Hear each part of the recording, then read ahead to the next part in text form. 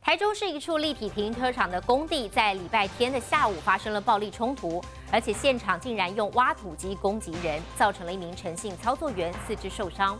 还好呢，当时有其他的工人用挖土机阻挡，才没有让伤害扩大。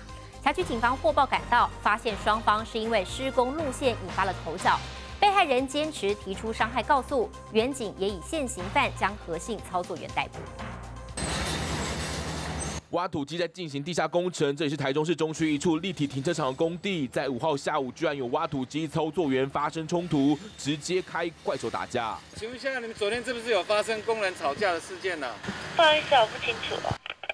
工地人员低调，不愿多做回应，但有其他工人表示，当时负责挖土机的诚信操作员和核心操作员因为施工路线意见不合，双方引发口角，最后核心男子居然就用挖斗攻击对方。核心操作员意图攻击对方的肉身，诚信男子惊险逃生，还好当时有其他三名工人赶紧用挖土机制止，才让这场团战落幕。被害人在逃命过程造成右手指挫伤，右脚踝扭伤。工地发生挖土机团战，消息传到网络，不少网友惊呼：灵感来自钢弹。台中人连工人都比较凶，还好冲突发生地点一旁就是派出所，警方获报三分钟内赶到现场。那警方迅速到场的时候，哦，现场已没有发生纠纷的情势，依这个罪证的部分，哦，来跟这个和弦，哦，依现行犯的部分，哦，来做一个逮捕。由于被害人坚持提出杀人未遂和伤害告诉，原警先将何姓嫌犯移送地检署侦办。所幸整体冲突没有造成其他人受伤，也没有导致工程延误。这里是吴福燕，台中报道。台南盐水月金港灯节今年碰上了疫情而停办，连带着周边配合灯节设置的船坞也跟着闲置下来。全白的设计呢，耸立在水面，白天看相当的素雅。不过一到了晚上，配合着灯光，惊吓指数攀升。有人说，好像鬼月在放水灯一样，让民众直喊好阴森。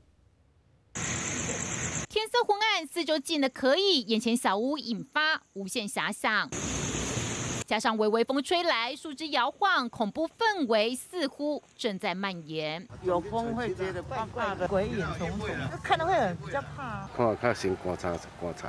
不少人都有这么点感觉，但场景换到白天，风吹的时候就。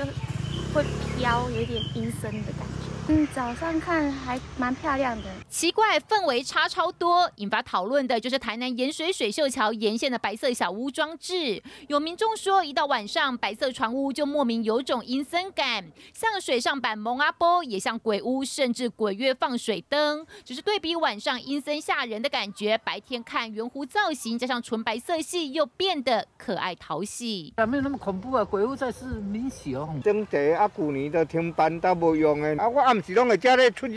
当地有著名的月经港灯节船屋，就是为了灯节设置。本来计划彩绘，但今年碰上疫情停办，才跟着闲置。由于周边没什么灯光，晚间才意外引发联想。活动明年有机会复办，到时候改造美化，将有不同风情。记者黄富奇台南报道。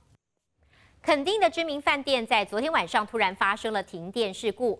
当时旅客是正在餐厅吃饭，没办法了，只好客难开启了手电筒摸黑用餐，影响了心情。有旅客跳出来抱怨，而饭店第一时间竟然是没有人处理。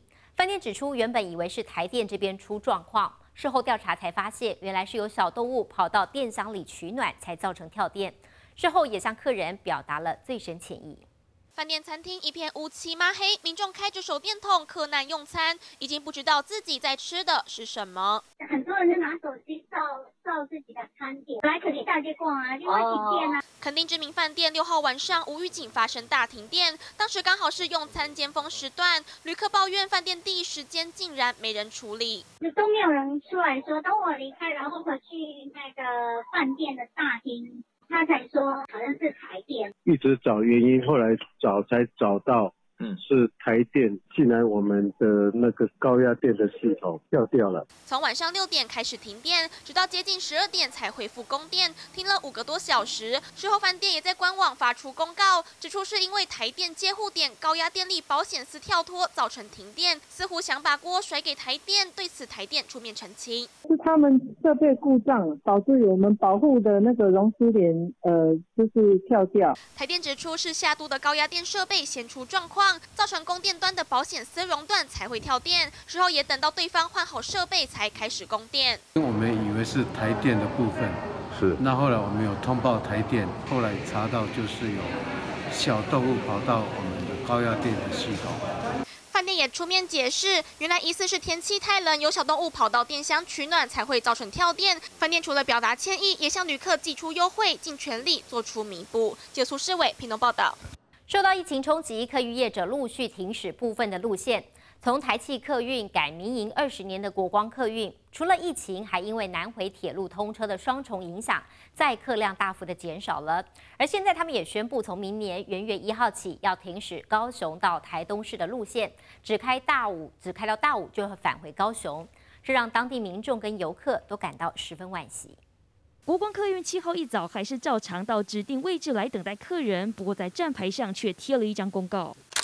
上面写到，国光客运从明年元旦一号开始将停驶高雄到台东市的路线，只开到大武就返回高雄，让当地民众跟游客觉得很惋惜。有的人嘛是爱，也时间因为时间袂拄好嘛，你火车站你要去到迄边去啊，啊你若国光二站尔坐就当哈，即码选择性该坐啊，啊毋过真正是安尼可能较了钱啦，因为较无人坐款。坐火车安尼就无方便啦，那要得爱一一票抵啊。